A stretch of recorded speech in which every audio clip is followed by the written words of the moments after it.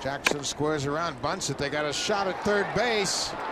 In time. Good play by Jo-Jo Reyes.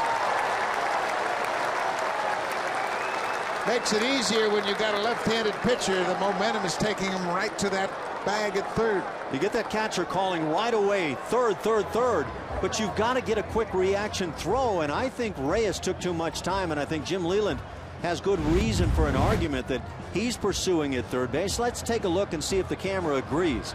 Reyes gets on it, then a little bit of time taken, and it looks to me like the runner beats the throw. This will be a good angle there. The throw on the way. Looks like he's on the bag.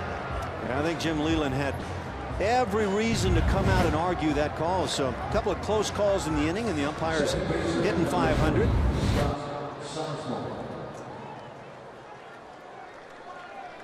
Reyes with a little bit of a windup before he threw that ball to third.